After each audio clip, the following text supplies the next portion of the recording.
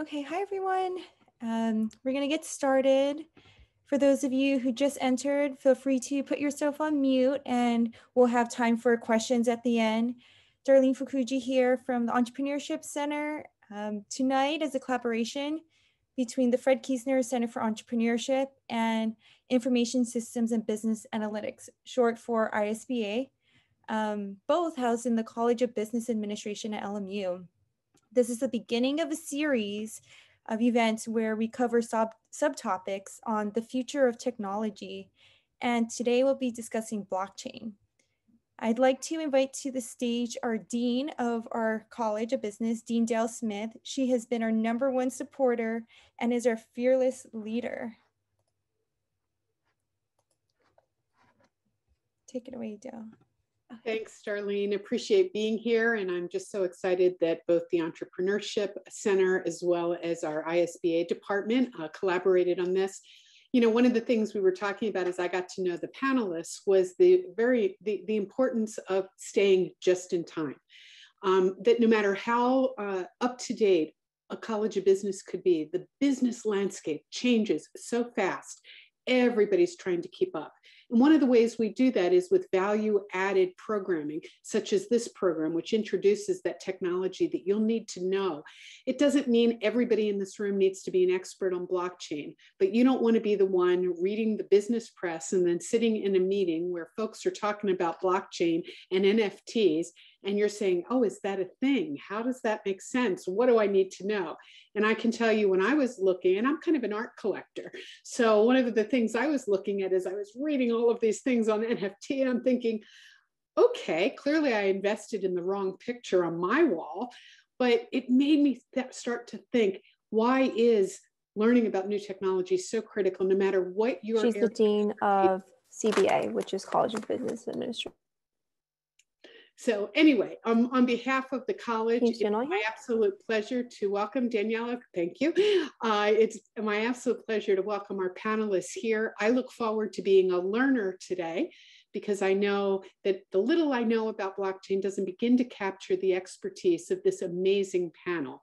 And as we all work together to keep up with the business changes on the landscape, we'll all end up being much more better educated. So with that, I'll turn it back to our conference organizers who are going to introduce the panelists.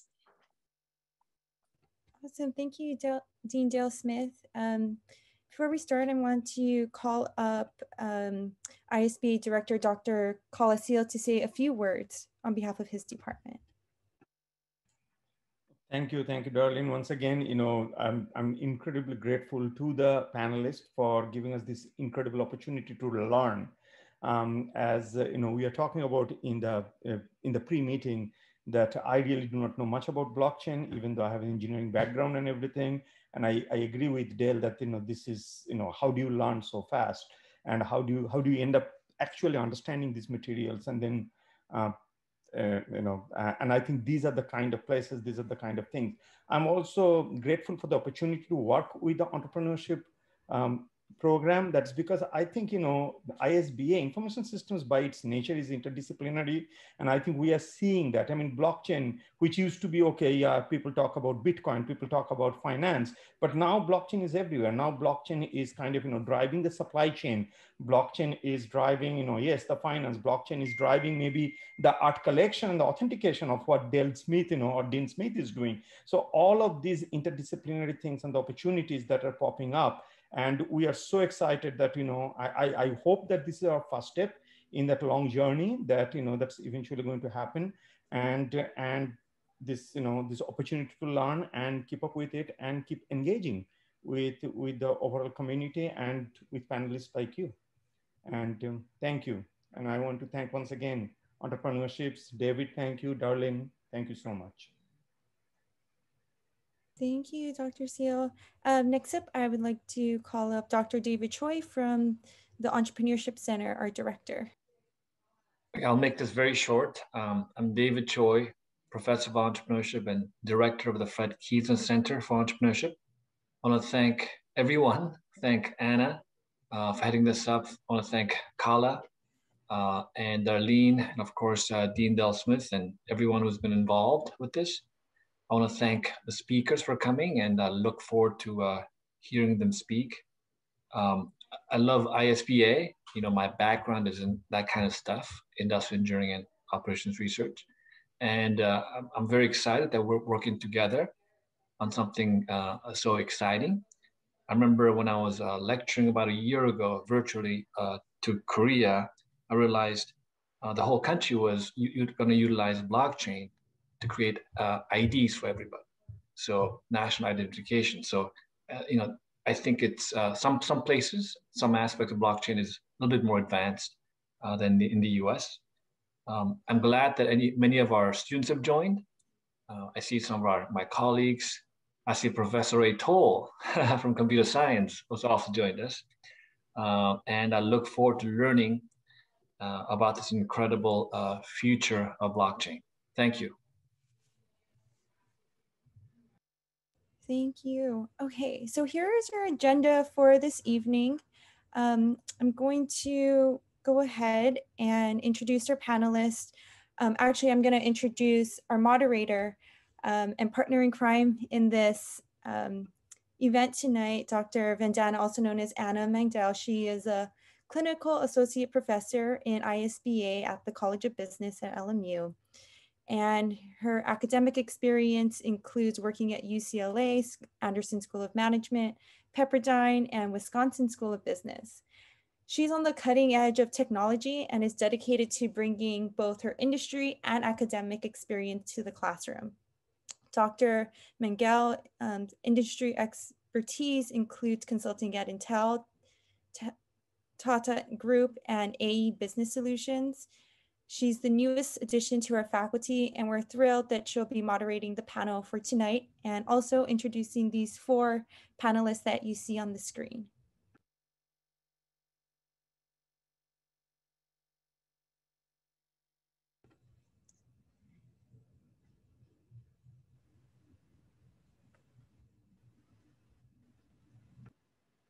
Anna, you, are you on mute?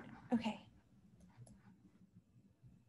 Thank you, Darlene. Thank you so much. Uh, thank you for that kind introduction. And uh, I join everybody here to, to welcome everybody who's attending this evening's uh, conversation, this evening's discussion.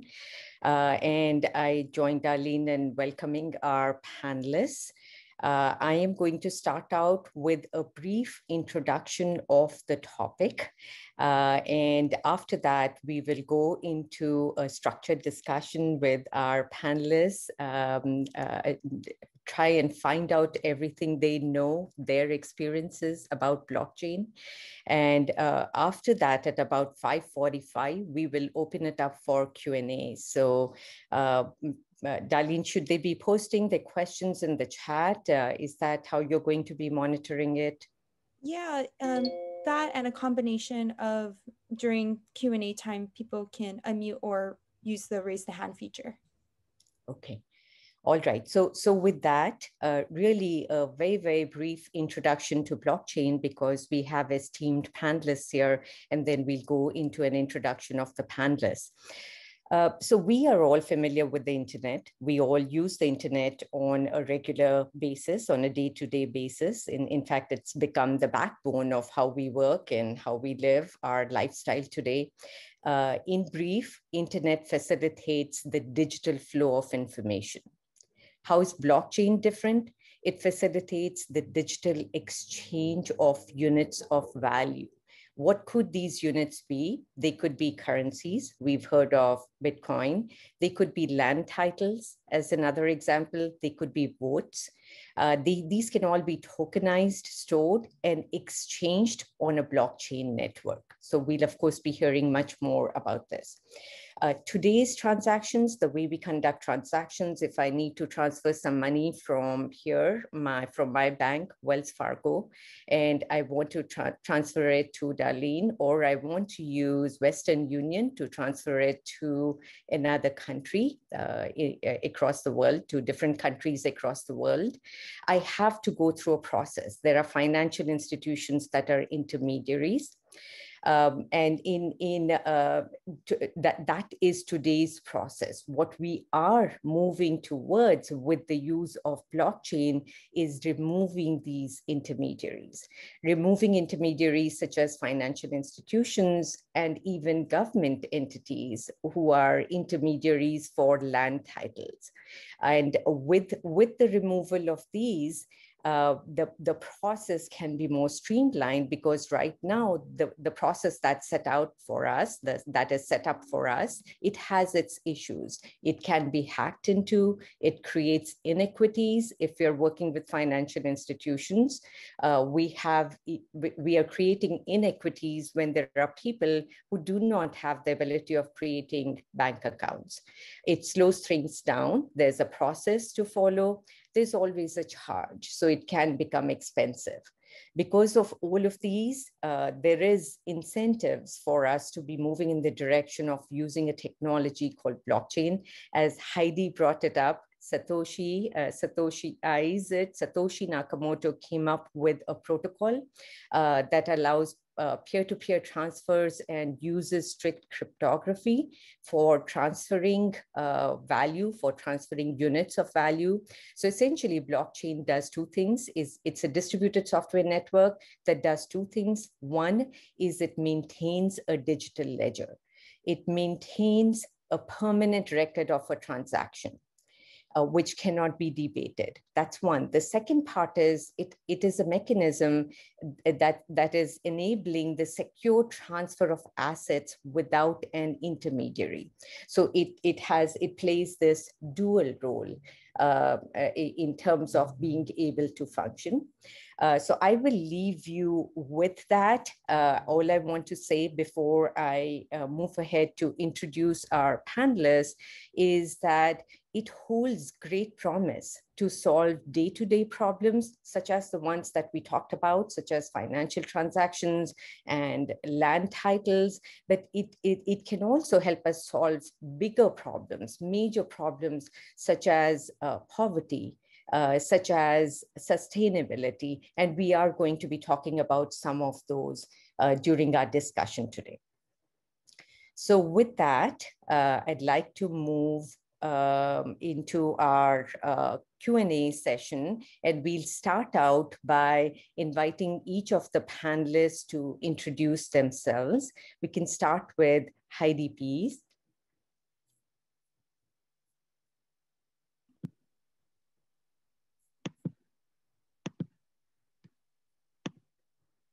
Hi there. Thank you so much, Dr. Mangal, and for the entire LMU staff. Um, it's an honor to be here talking about my favorite subject, blockchain, which is ever changing. Um, so, my name is Heidi Pease. I am the co founder of the Los Angeles Blockchain Lab, which is a, an organization of government, businesses and academia in Southern California focused on building a thriving ecosystem, a blockchain ecosystem in SoCal. And basically, I got started in blockchain. I don't have an engineering background. And I mention this because I think it's important that people hear that you don't need to have an engineering background to become very involved or to have a career in blockchain.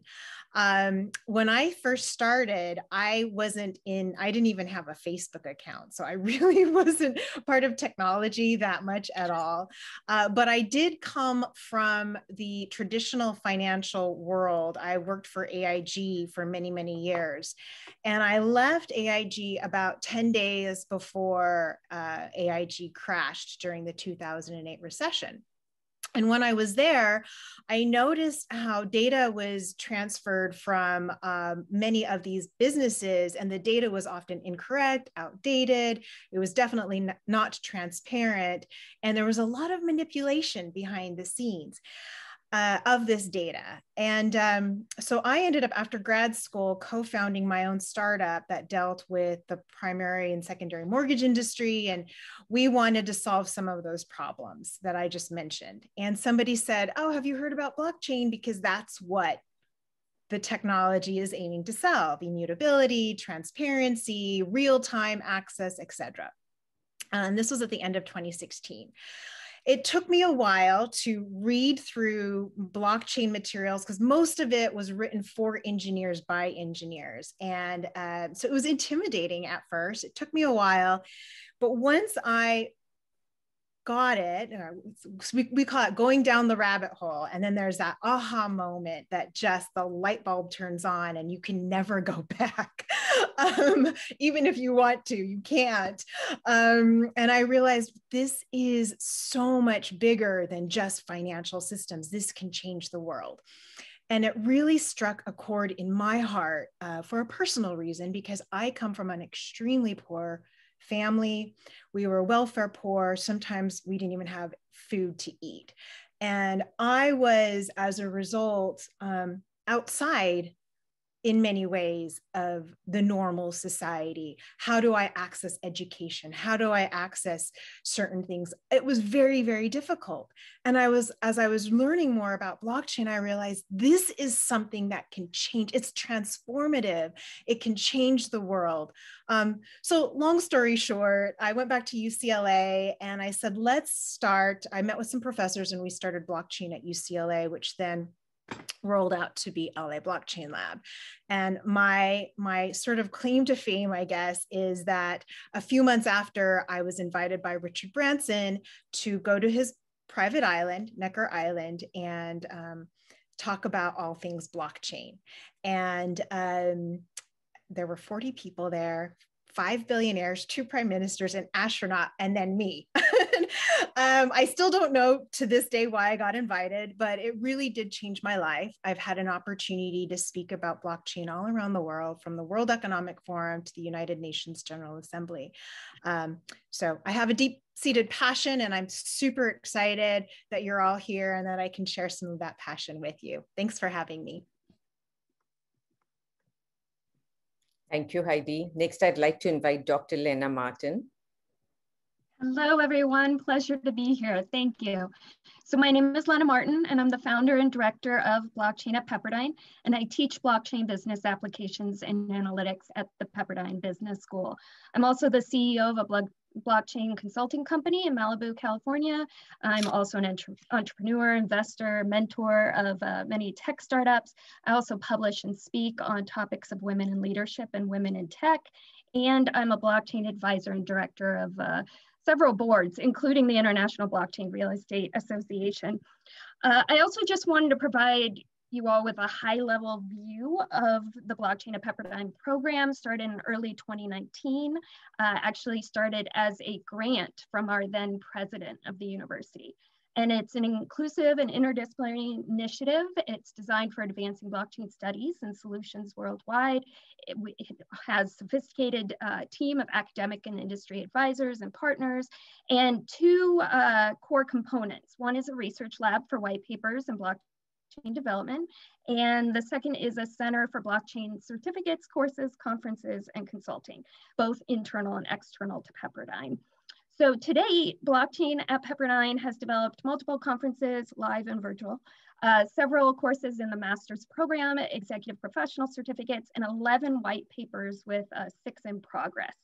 So including numerous collaboration events and endeavors. So it's really exciting uh, and I'm excited to see for the year ahead and what's to come. I just want to give a quick background too about how I first uh, was exposed to blockchain. Um, and it happened while working cybersecurity and communications, but it was at a biopharmaceutical company, so blockchain for healthcare. And then my consulting company started working with one of the first public companies in the blockchain space. So that was my moment of falling down the rabbit hole. Um, all of a sudden the core values of blockchain started to align with actually the core values um, that I was looking at my doctoral research. And it was primarily the values of truth and freedom. Actually, I look a lot at the Nordic cultures. I'm half Norwegian. And there's a saying of uh, the two pillars of society are actually truth and freedom. And this speaks back to blockchain's decentralization. So it's really important because blockchain offers more opportunities and resources for individuals worldwide. That's really how I came to fall in love with it. So knowing blockchain is the future, I just wanted to help bring this knowledge to the masses. So education engagement is key. And that's when I started the Blockchain at Pepperdine program, started working working on providing that blockchain layer to existing entrepreneurial and enterprise projects. But it starts with education and knowledge is the key to that, to truth and freedom. And thank you again for having me here today. Looking forward to the discussion. Thank you, Lena. Next we have Josh Garcia. Hello, everyone. Um, I'll be brief. I, I don't expect you to really remember any of my background, but I, I think it might be helpful to tell you how I, might be useful to you. Um, I'm an attorney, so I've been practicing in the crypto space for about seven years, and I also teach a class at Michigan Law School. Um, so I'm an educator. I'm an adjunct professor there. Um, and so uh, to the extent that you all have questions on the industry and how it's evolved uh, in the past better better half of a decade, um, you should ask those. To the extent you're interested in, you know, how someone with a background in like creative writing and psychology has gotten into crypto, you should ask that. Um, the space is is vast and it's it's big enough for people from really any discipline to get involved in it. Um, and and I think if you're going to do it, you should ask yourself why you're doing it. I think a lot of the times people get into it because there's money in it. Um, and so if you're if that's your angle, then try to you know use me and, and the other panelists here to ask how is there money in it? Where does that flow? Where does it go? And how can I be a part of that flow? Um, so just putting out there my background, think of the questions that you might have and make use of us while we're here. Thank you, Josh. And next we have Nina Nichols.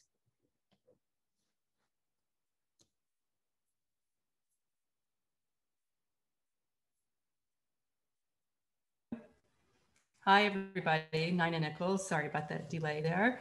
Delighted to be here. I really appreciate um, the invitation from LMU and uh, the School of Business and Entrepreneurship. I'm excited that entrepreneurship is being included with blockchain. Um, I think that it's um, very applicable because I think there are a lot of uh, entrepreneurs in, in the blockchain space. Um, speaking of, I, um, I did provide this as a, as a brief, just sort of background on, on who I am. I am the uh, founder of Global Women in Blockchain, which was founded three, maybe four years ago. Time does fly quickly. Uh, and I did that to bring women into the space so that they would feel comfortable being in what seemed to be a, a male dominated um, learning space um, and somewhat working space. So I wanted to be sure that women were brought into the space and not, not left behind. Um, but my entire background and career has really been uh, one of entrepreneurship, really even since college, where I worked at the college newspapers and did different things on the on the side. Um, I founded Resolution Research and Marketing, uh, over 25 years ago. So we do a lot of market research and it's always a learning experience when we do market research, no matter what the topic. Um, so I think that that has broadened my interest in like all kinds of all kinds of topics um, because when you learn something um, you know something new it really in, engages you to become more involved i think and so I think that's one good thing about holding these sorts of uh, forums where everybody has a chance to learn and understand and see different uh, aspects and, and diversity. Um, at the bottom of the screen there, uh, paidstudies.com in the medical panel, they are um, panels that I formed for persons to join, uh, to join a panel and then participate in paid research studies uh, so that we can more rapidly reach out to folks who are, uh, you know, of a certain demographic profile and have them engage with us. Um, by chance, we happen to do a lot of research in the higher education arena. Um, and it's, I'm always watching to see what universities uh, are doing and other, other institutions are doing as far as education goes. Um, for a long time, we were focused on what's happening in the online space. Um, with many, many universities. And then with COVID forcing everything online like this, um, it's really helped to, I think, expand and accelerate the adoption of some sorts of technology. And I'm hoping that blockchain will be one of them. Uh, a couple other companies that I have or a part of down there. One is um, it's called EAT Certified or Education and Training Certified. It's an it is an online technology platform, and then also Global Women in Blockchain um, is offering, and soon to be we're receiving our um, one of our well our first grant.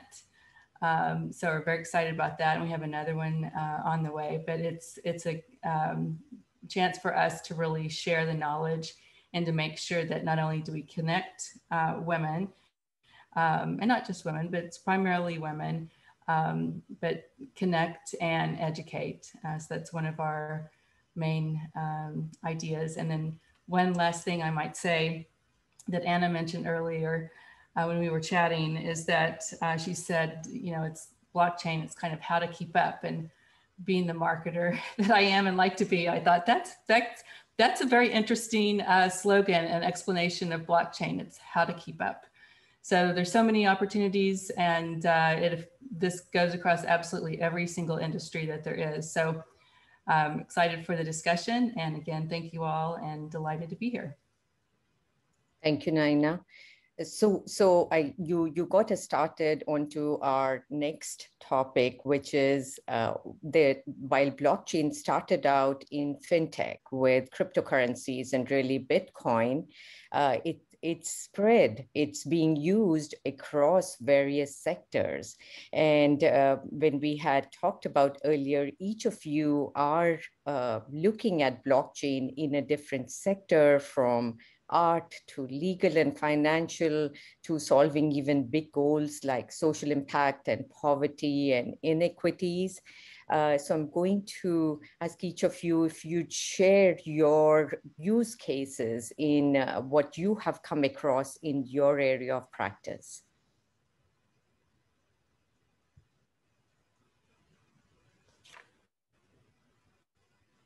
Would Naina, you would you like to sure. start? Sure, sure absolutely. Uh, well, I'd like to say that I have um, have a use case in market research, but I do not. But that is one thing that I, I really am working on and we are looking at so that um, with one thing with market research, when you conduct online studies, you have to rely upon whatever the person tells you, you know, that their age or you name it, um, their background, their education, we have to rely on whatever the person tells us. So ideally, we're looking to try and find an um, identity that would would provide uh, us information about the person and that validates their information. Just as when in education, you know, when you when you graduate and have your transcript on LinkedIn, a person they can really put whatever they want. You know, there's no checking or validating um, that the person did indeed graduate from LMU or wherever uh, it may be. So I think that's um, a use case that I'm hoping for. Um, one actual use cases that I am seeing, I'm on a few different um, boards, and one of them is a um, group that does vaccines, that does um, vaccine validation. And they're really starting in uh, Lesotho in South Africa, uh, but where it's at the point of origination that it actually goes onto the app. So then when a person travels, they could say, here's you know, here's my vaccination. If you have to show that you've been vaccinated, um, and but many other medical uh, aspects are are out there as far as tracking, like clinical trials. Another example in research, there's so many clinical trials out there that if we could compile them all and and look at all the research that's been done over the years in a specific vertical, we would have so much more information. So um, I just think blockchain brings so much to the to the field uh, of advancement in, in, in every vertical. Thank you, Naina. Josh?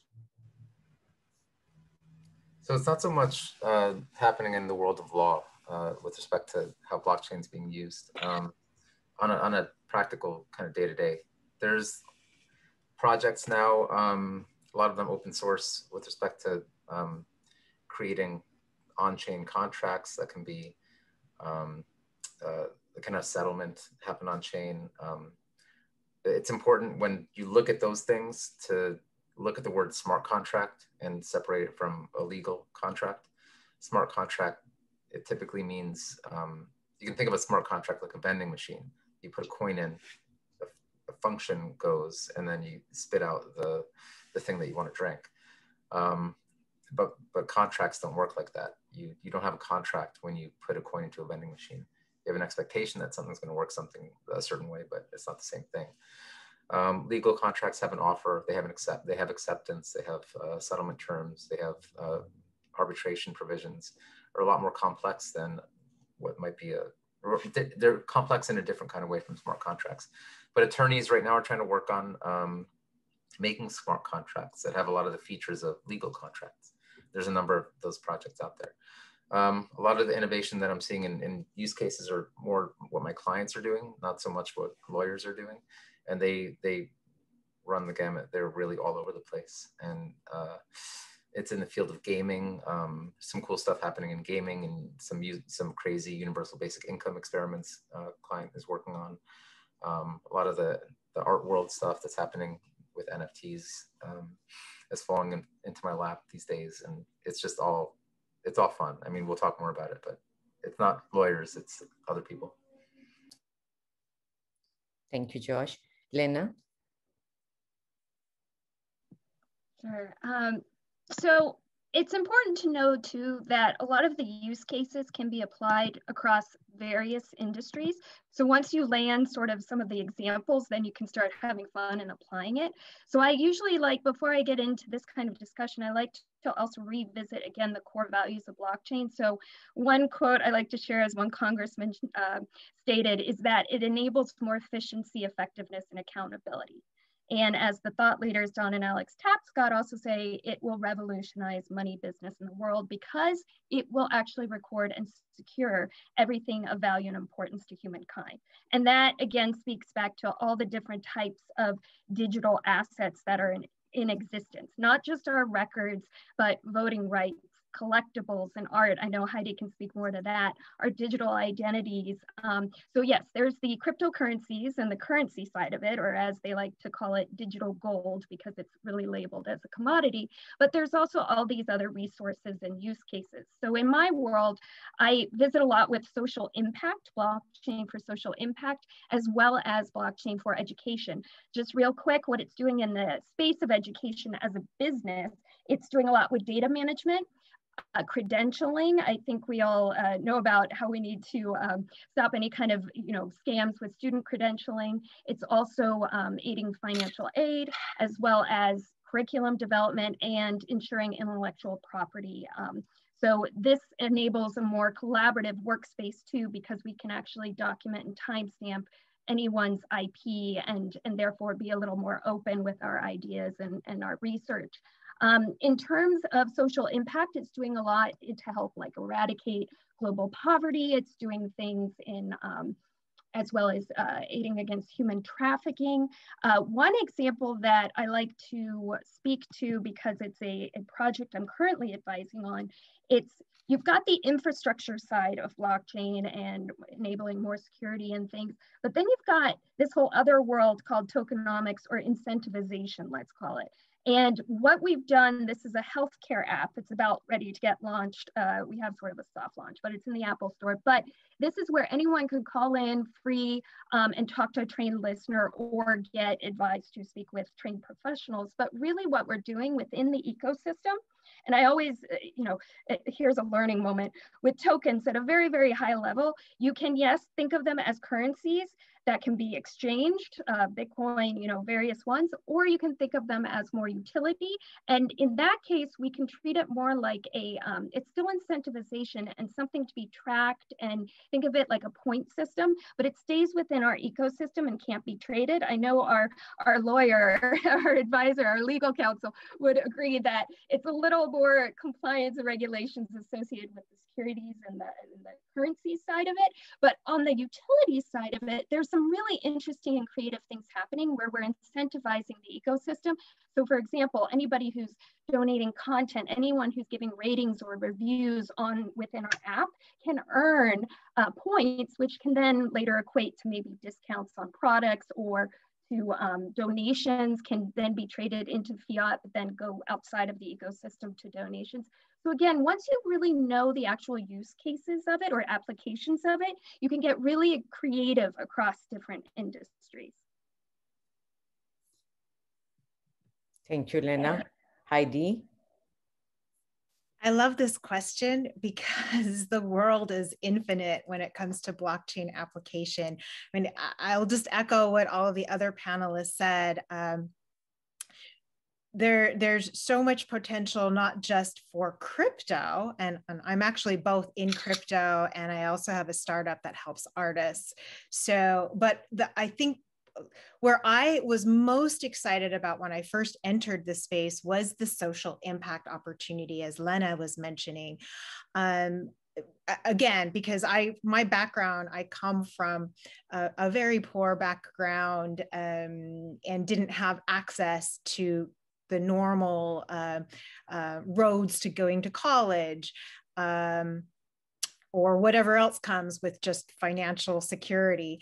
So when I started reading about blockchain, and actually, believe it or not, when I went to the Richard Branson event, that whole event was people from around the world that were doing some really exciting things in this space to help move forward communities.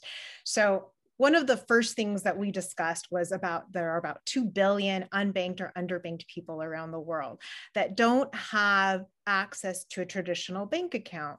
Um, maybe they don't have enough income that they meet the, the threshold entry to get a bank account. So, what does that do? It keeps them outside of financial services, it keeps them outside of any kind of internet communities.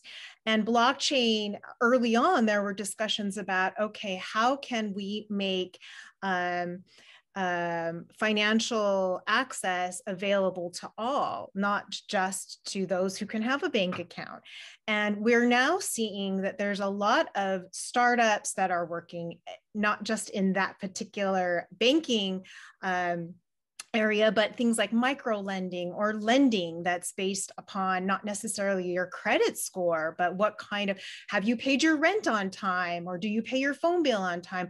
Some really interesting ways of looking at financial services to things like, uh, I think Lena mentioned um, identity there are hundreds of millions of people around the world that don't have identity, and that keeps them outside of access to social services that a government might offer, education, healthcare, um, maybe they were refugees and they don't have that identity with them. So blockchain is being used by uh, and and being developed by the United Nations. I believe WEF is also working on a program, and then there are other startups as well that are helping with digital identity. To things like knowing is the diamond engagement ring that I have, is that a blood diamond or was that sourced from um, fair trade and didn't use child slavery? Um, so any type of industry you can imagine, there is blockchain potential application. And then we get to things that we've never imagined, like NFTs. Uh, and, and actually, that is a space that I'm in right now with my startup. Uh, we early on created a platform to help artists fundraise for their projects and market their projects. And especially since COVID, so many of these artists have found themselves unemployed and so we early on started looking at okay, can they start to sell some of their memorabilia to fundraise? And um, so we are also launching an NFT for a couple of artists, some of them well known. Um, and who would have ever guessed just maybe a year ago that NFTs would have taken off? So we see, I see blockchain not only changing traditional industries, but creating completely brand new ones that uh, I have so much FOMO right now. it just keeps me up at night because I cannot keep up with all of the innovation. Thank you, Heidi. Uh, but that gives us a large number of sectors where where uh, where our panelists are already using blockchain. Uh, so I uh, want to keep enough time for Q and A, but I want to ask two more questions. So I'm going to ask two of my panelists um, one of the questions and, and uh, the other question to the other two. Uh, please, anybody who'd like to like to add uh, among the panelists, you're welcome to do that. Uh, my first question is uh, that uh, what our students are here and they are trying to figure out they if they're interested in getting into blockchain what are the skills that they should be developing so that they are able to get into blockchain? So that's one. And the second question is where do you see blockchain headed? Where where is the future of blockchain in the short term in the long term? I can i can start. Um, every single problem that has existed with any of the cryptocurrencies that have launched has been iterated on. So people thought Bitcoin was too slow. And so they launched Litecoin, which is a little bit faster. They didn't like that the supply was capped and they wanted to make it even faster and have unlimited supply to have more fun with it. And so you had Dogecoin come out as a result. Um, you couldn't build a Turing complete uh, uh, system on it. And so Ethereum was developed. And there's every single limitation that a project comes up against, somebody out there in the world takes what's already been done and builds on it. And that's the beauty of open source technology. Um, and so when it comes to, to what, you know, what kind of skill sets you need, I think if you look at something at one of these projects out there and you see an obvious problem with it, just keep in mind that you can try to fix it.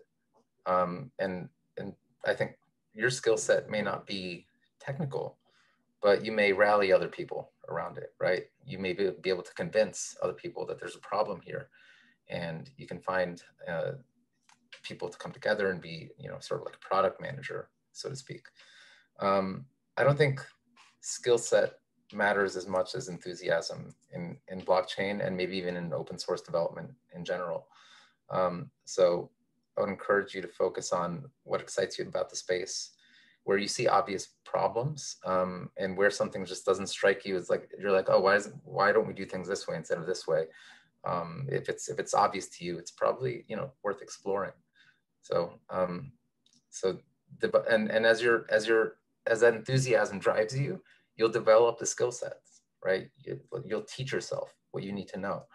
Um, so i would just encourage you to kind of like spot the obvious problems and attack them however you see fit Thank you, Josh.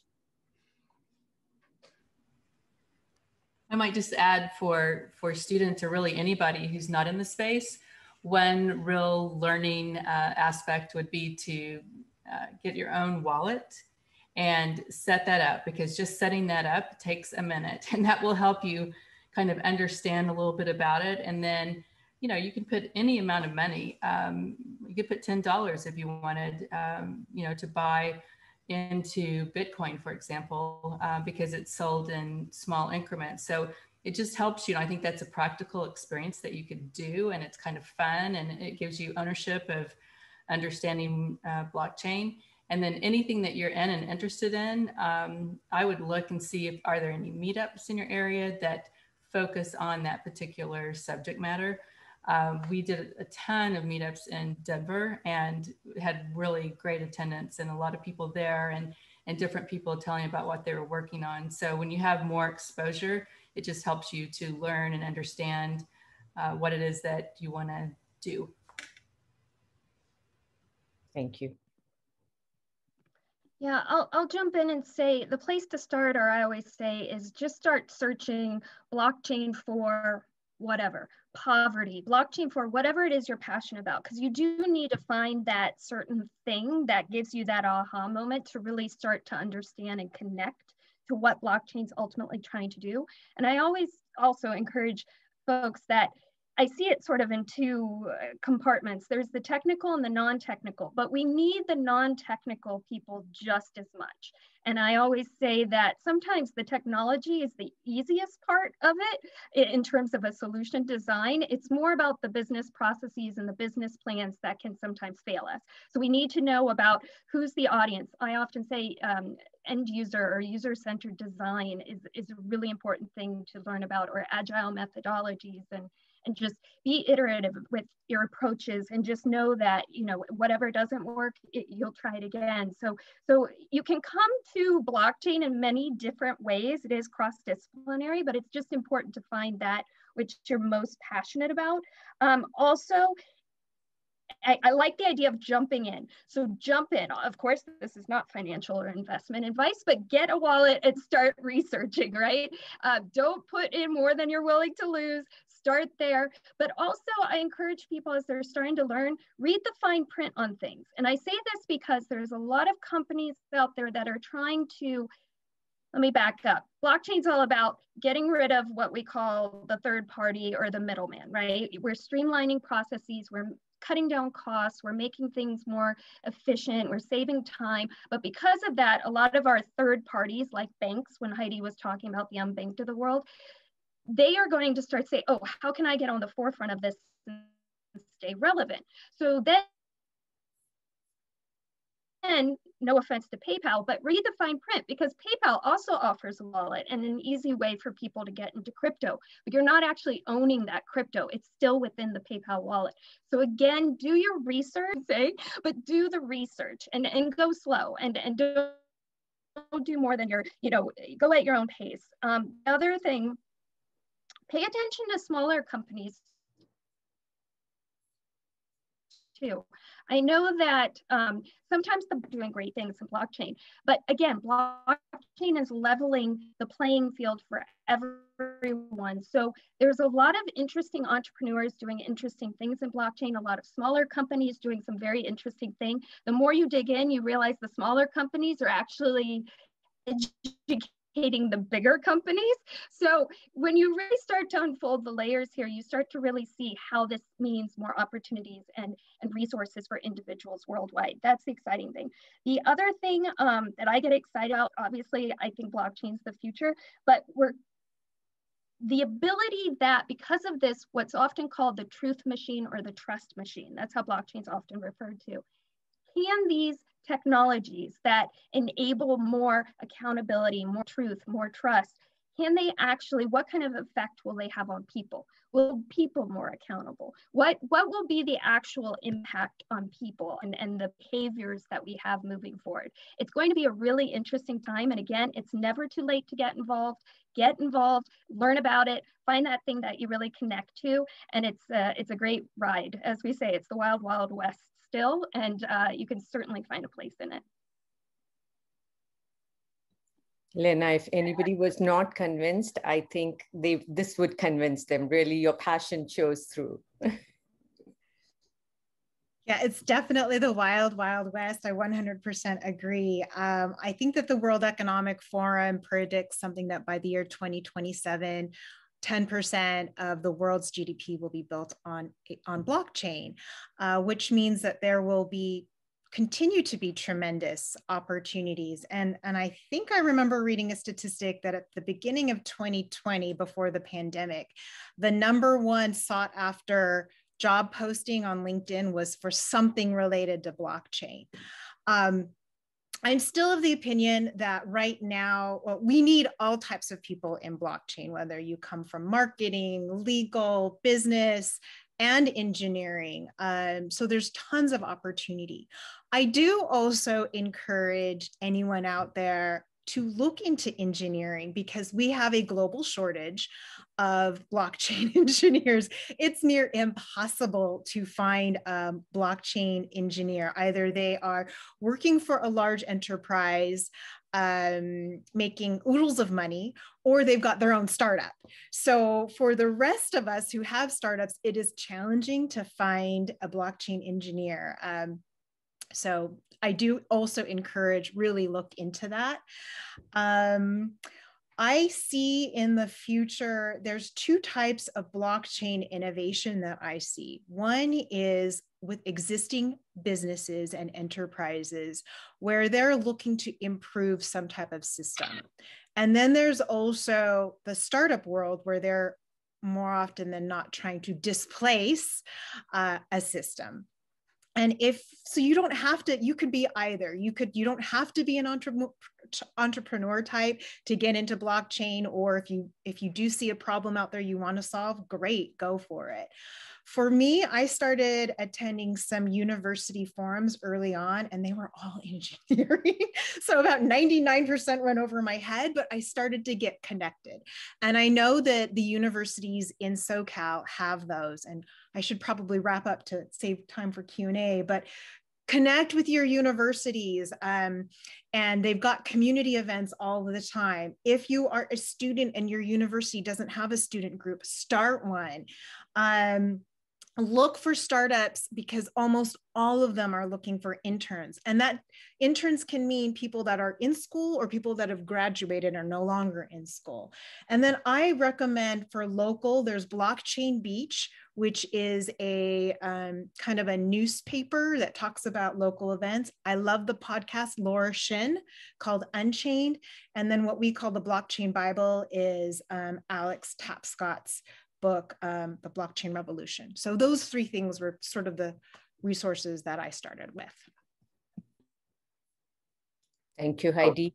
Oh, uh, Coin, Coin Center as a great resource for everyone starting out. Um, maybe ask you to put these in the chat so that uh, people can pick up on that uh, for Heidi as well as Josh and, and any of our other panelists. With this, thank you so much. I'm going to hand it over to Darlene for the Q&A, uh, Q&A portion of this. Yeah, I see a lot of great questions already in the um, chat and some of them have been answered. Um, you can also raise your hand, but I think I'm gonna start from the top. Um, you know, what are some good examples of blockchain enhancing equity and sustainability? I know Josh answered. Does anyone have anything they want to comment? And don't feel pressure to because we can move on to other questions as well.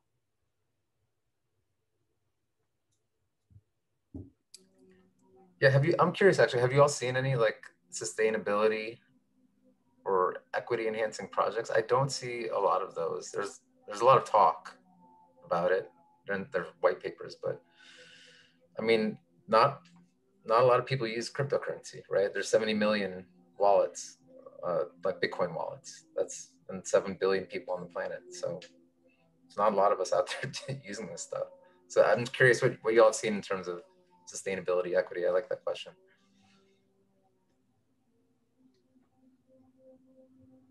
So actually, there's a lot of projects. Um, the UN and the Sustainable Development Goals um, is actually looking at, or they've documented, there's an article, I'll put the link in here, um, that they're aligning what blockchain initiatives are actually starting to support the UN Sustainable Development Goals. And there's some very interesting ones.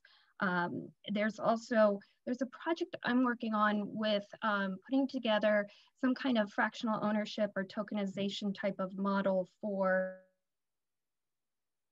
um, an environmental development with the Salton Sea. And um, uh, it, so again, there's some interesting creative um, applications happening right now that are backing up every kind of uh, initiative.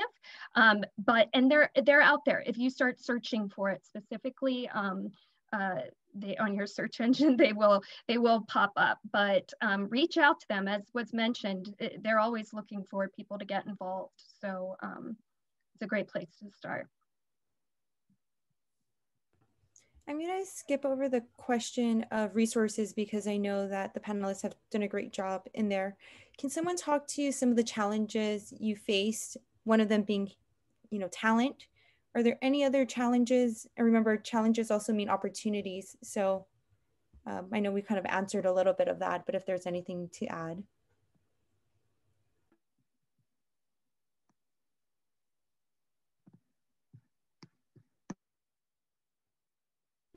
Yeah, I'm trying to think. Um, I would say that for my startup, our number one challenge is finding engineers. Um, it it's it's really near impossible. So that's why I'm always encouraging people go into engineering. We need you. We need you. Um, that's number one. Number two, when I first started in this space, personally, it was a challenge because, as I mentioned, I don't have a tech background and obviously blockchain is developed by engineers so the language was very engineering heavy um, and it was a challenge at the time. I think that the resources that are available now are more user friendly um, but the blockchain community at least er, when i say early on it was the 2016 which is not really that early but at my time the blockchain community was great at talking to each other and horrible at talking to people outside of the blockchain space. I, am hoping that that has improved, but those are probably the two biggest engineers and this barrier to. Oh, and I guess the third thing would be that it's still a very sticky ecosystem. Yes, you can set up your wallet, but it's still very, it's not as easy as opening, um, I mean, getting my bank account. Unfortunately, the systems that are in place are just not quite as streamlined yet. And I think that that's a barrier to entry for new people. But that's a business opportunity.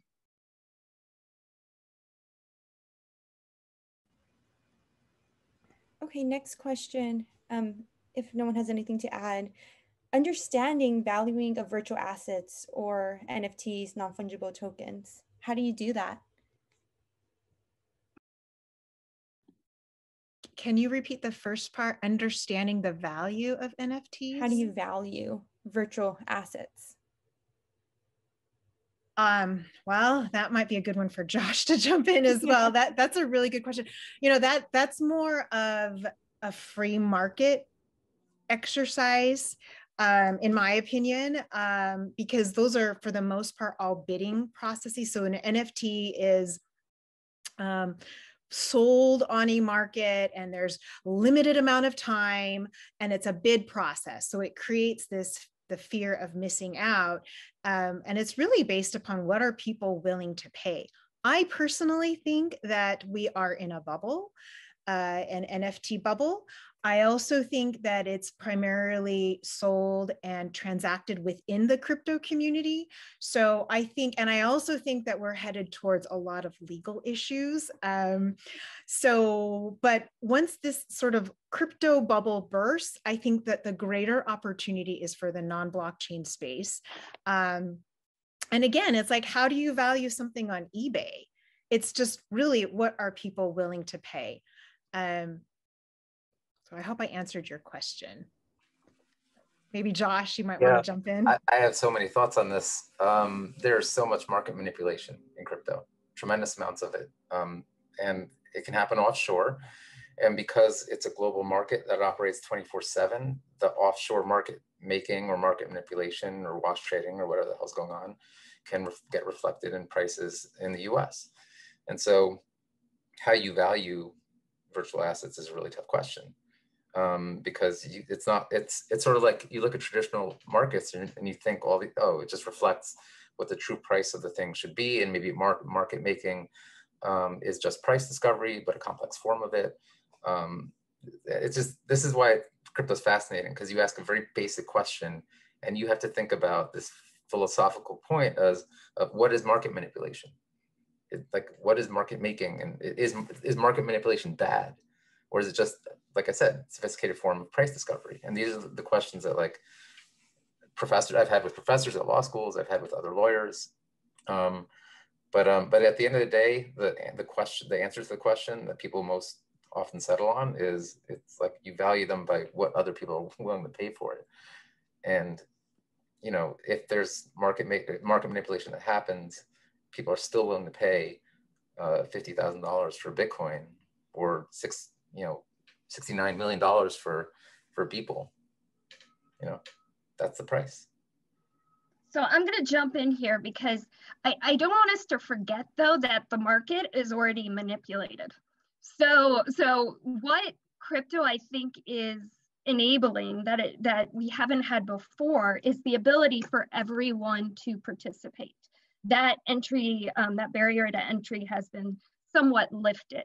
So it's not to say that there aren't scammers out there or malicious entities. It's not to say that, but as we could see with like the Robinhood, what happened with Robinhood, uh, there is that uh, manipulation that's already sort of in place with traditional um, uh, setup. So what's what's interesting when when that happened was that I don't know if everybody noticed, but it was an exciting time for us in the crypto and, and blockchain space. Was that finally on mainstream news media channels and things, they started to bring in crypto experts. That never really happened before all of a sudden crypto people were being looked to as you know voices of, of authority or expertise that was really exciting. So so it's true that again everyone has to do their due diligence everyone has to do their research.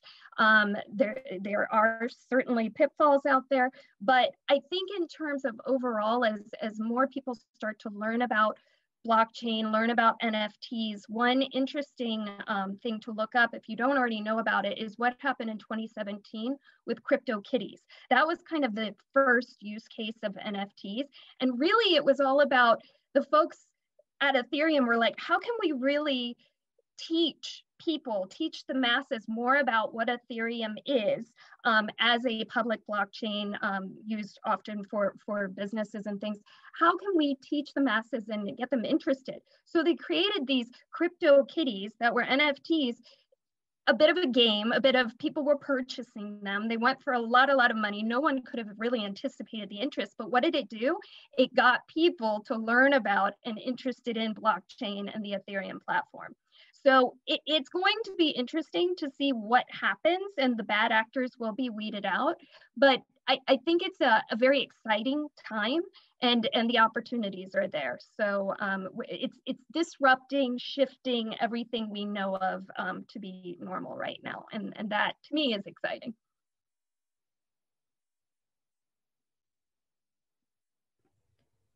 Great, thank you. Okay, if anyone has any urgent, urgent question, We'll take one last one. You can, if you posted it before, please repost it. But if not, I want to be respectful of everyone's time. They've been so generous with the pre-planning.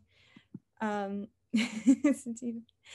um, it sounds like there there's some need or desire for um, a club at LMU. So if Stephen or a few other people here want to start it, I think I just um, volunteered them. So if anyone here is interested, maybe direct chat with them. Um, I'll leave the room open for a little while, but I want to be respectful of everyone's time. So thank you again to the panelists. You guys are amazing. I think we learned so much and just a real great opportunity for our students to hear from such experts and accomplished people in the field. Um, I'm going to put up the QR code for the students to um, make sure that you get credit for being here. And if not, have a great night, everybody. Thank you. Thank you. Thank you. That's great. Thank you so much. Thank you. Thanks. I I remember when uh, a professor of mine said, "Oh, blockchain is a joke. Don't do it." Or crypto, Bitcoin is a joke. Um, and so fascinating to see LMU now doing it. So um, really appreciated the talk. And Stephen, I see your note on Club Clubhouse, uh, doing a session there. Mm-hmm. Yeah, I'd, I'd, love to. I'd love to set one up. I have uh, a couple of connections in the blockchain and industry, and would love to get a, a big group together to chat about it. We have a entrepreneurship clubhouse that we can start one and schedule one as well, and invite other co-hosts to it. Totally possible. Sure. Vandana, if, Anna, if you want to link uh, with me, I'd, I'd drop my, my LinkedIn in the chat or we could chat somewhere else about it if you'd like to. Sure. We'll do that. We'll do that. We'll reach out and also uh, work with Darlene on, on the clubhouse. Fantastic. It's cool. And yeah, it wasn't uh, Professor DeMello. Yep. okay. Thank you. Awesome. Thank you again. Um, I don't know if uh, I think David asked a really interesting question. And again, I do not want to take up more times of the panelists, but in case you are still available and you want to continue maybe for a few minutes, uh, I think David's question was, what are some of the cool, uh, right, David? Like the really interesting and cool applications of blockchain that you have seen in your experience. But once again, you know, you can say, you know what, it's done, sorry, another time. It's perfectly okay.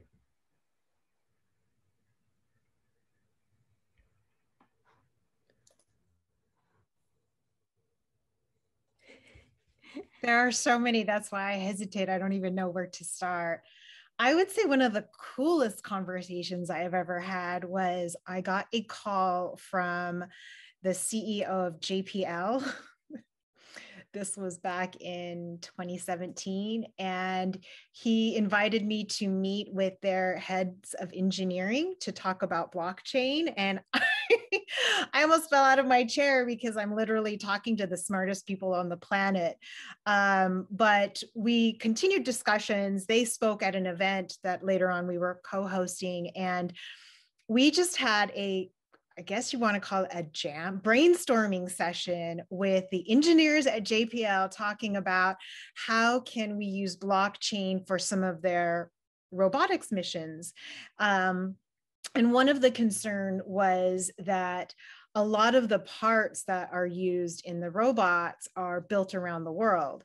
And as these uh, parts become more smart integrated or the Internet of Things, there's a concern about, well, what happens when we send something up into space and then the some some item within the robot or the uh, satellite or whatever um, is controlled by a nefarious actor and then that satellite is sent back to the to the earth um, uh, for destructive means and so they were look, thinking about oh well how can we use blockchain to solve that. But then there were issues about, we're talking outer space. So, whatever processes and systems they have to withstand all types of differences in pressure and heat and then time like 10 years 20 years or so. So they're talking about maybe using slices of diamonds instead of qr codes and and these these slices of diamonds have their own unique identifiers and and placing blockchains in that. I mean it was just great. It was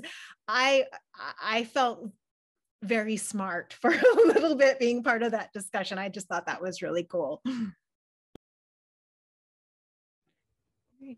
Well, thank you guys so much. This is so, um, yeah, I love all the comments. And thank you again, everyone, for your time.